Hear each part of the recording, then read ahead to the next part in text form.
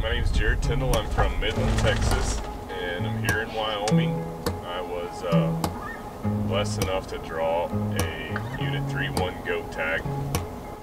Really looking forward to this hunt. Uh, I love this type of this type of hunting in rough country.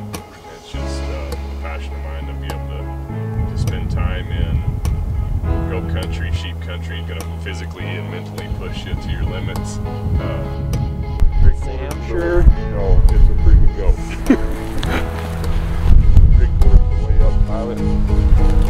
edge.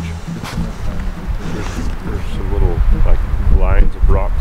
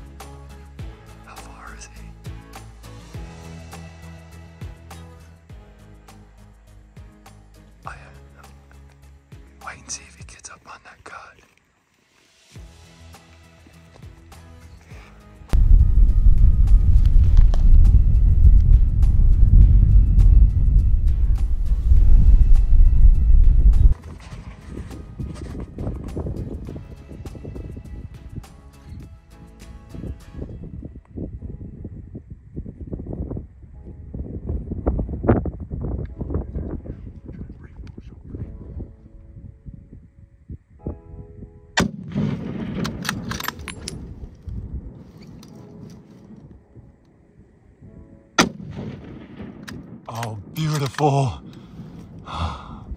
No. I thought I planted her.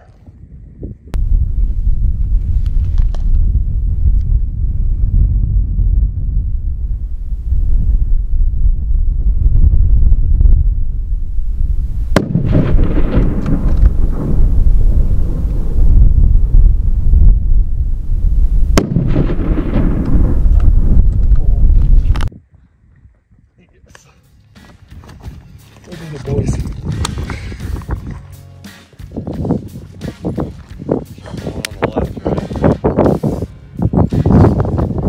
Pretty stinking cool, man. Oh, this is so awesome. Congrats, man. So awesome. Congrats, bro. I'm so glad y'all are here.